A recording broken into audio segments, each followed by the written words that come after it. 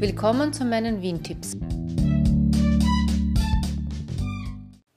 Ab heute, das ist der 29. Februar 2020, kann man sich für den österreichischen Frauenlauf am 17. Mai anmelden. Und das ist eine Veranstaltung, die ich echt empfehlen möchte. Ich habe auch schon ein paar Mal teilgenommen.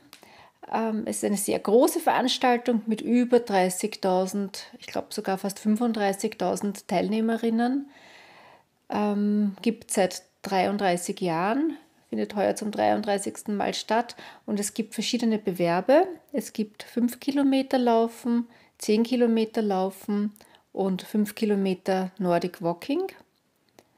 Und die Strecke ist äh, eben, also es findet im Prater statt, auf der Prater Hauptallee und ja, sehr angenehme Strecke. Bei dem 10 Kilometer Laufen, da geht dann ein kleines Stück durch den Wurstelprater.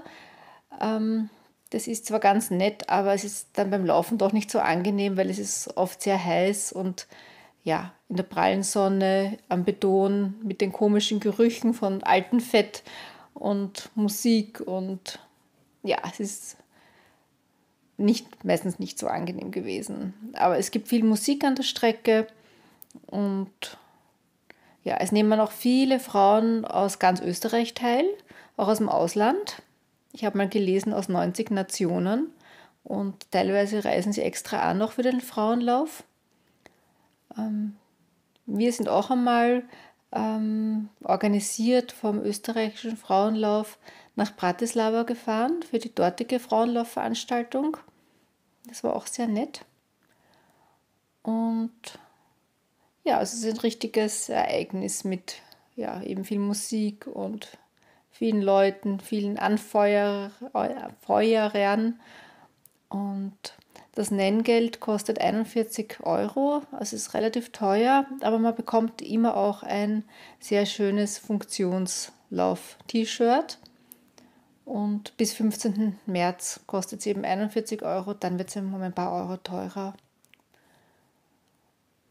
Ja, ich glaube, das war schon alles, was ich sagen wollte. Also wie gesagt, ich habe schon ein paar Mal dran teilgenommen, meistens die 10 Kilometer.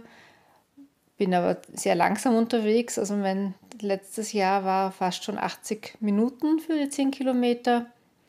Aber ich finde einfach, die Stimmung ist sehr, sehr angenehm und Leider ist manchmal schon recht heiß im Mai, aber ja, trotzdem sehr, sehr empfehlenswert.